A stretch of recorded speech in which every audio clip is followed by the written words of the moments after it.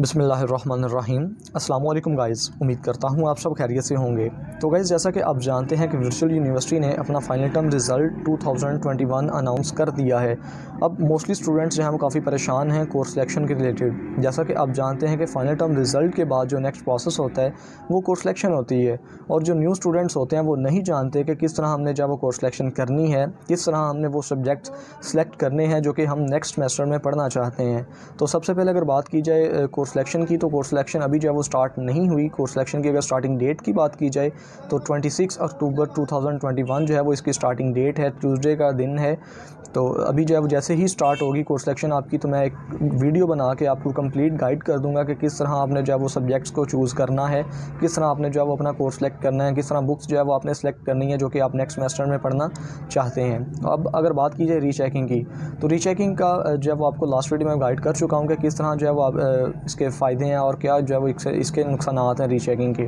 ठीक है, आज जो है वो इस वीडियो में आपको गाइड करूँगा कि किस तरह जो है वो आप रीचेकिंग के लिए अप्लाई कर कर सकते हैं। ठीक है तो अभी जो है वो वीडियो को स्टार्ट करते हैं। आपको जो वो अप्लाई करने का तरीक़ाकार जो है वो मैं बताता हूँ कि क्या प्रोसेस है जिसको फॉलो करके आप जो है वो इसके लिए अप्लाई कर सकते हैं। तो गाइज़ सबसे पहला जो प्रोसेस है, आपने जो वो अपना एल एम एस लॉगिन कर लेना है। मैं यहाँ पर अपना एल एम एस लॉगिन कर लेता हूँ। तो ये गाइज़ मैंने जब एक एल एम कर लिया स्टूडेंट का एल एम एस है, जो कि मैं लॉगिन कर चुका हूँ, अब जब वो एल एम एस को लॉगिन करने के बाद यहाँ पर थ्री लाइन्स पे आपने क्लिक करना है, ठीक है? थ्री लाइन्स पे आप कर लें क्लिक जैसे ही गाइज़ आप थ्री लाइंस पे क्लिक करेंगे तो ये जो है वो टैब ओपन हो जाएगा। यहाँ पर एक ऑप्शन होगा स्टूडेंट सर्विसेज़ का, ठीक है? स्टूडेंट सर्विसेज़ पे आपने करना है क्लिक जब आप स्टूडेंट सर्विसेज़ पे क्लिक करेंगे देन जो है वो इस तरह का इंटरफेस आपके सामने शो हो जाएगा। और यहाँ पर ये जो है वो एग्ज़ामिनेशन डिपार्टमेंट में आके यहाँ पर आप जब वो apply for rechecking of papers इसको क्लिक कर सकते हैं। ठीक है? तो यहाँ पर आप रीड कर सकते हैं apply for rechecking of paper spring 2021 final term ठीक है? फाइनल टर्म के जो पेपर्स हुए हैं, उनके लिए मैं अप्लाई करना चाह रहा हूँ रीचेकिंग के। तो यहाँ पर जब वो अगर मैं नीचे आता हूँ तो यहाँ पर ये देखें कोर्स कोड बताया गया है कि क्या कोड है, उसके बाद टाइटल है बुक का नाम जो है, उसके बाद एक्शन है, ठीक है?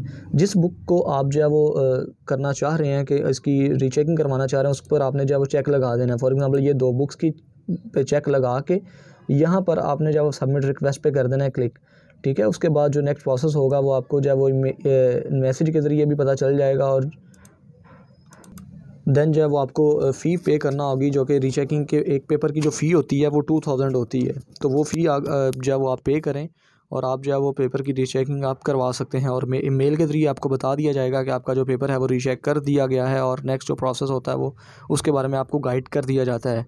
तो होप सो आपको वीडियो में थोड़ी बहुत इन्फॉर्मेशन मिली होगी। वीडियो में थोड़ी बहुत भी इन्फॉर्मेशन मिली है तो यार वीडियो को लाइक कर दीजिएगा। चैनल को सब्सक्राइब नहीं किया तो चैनल को सब्सक्राइब कर दीजिएगा। और किसी किस्म की भी कन्फ्यूज़न हो तो आप जो है वो कमेंट सेक्शन कमेंट सेक्शन में कमेंट्स जो है वो कर सकते हैं। तो मिलते हैं फ्रेंड्स नेक्स्ट वीडियो में। तब तक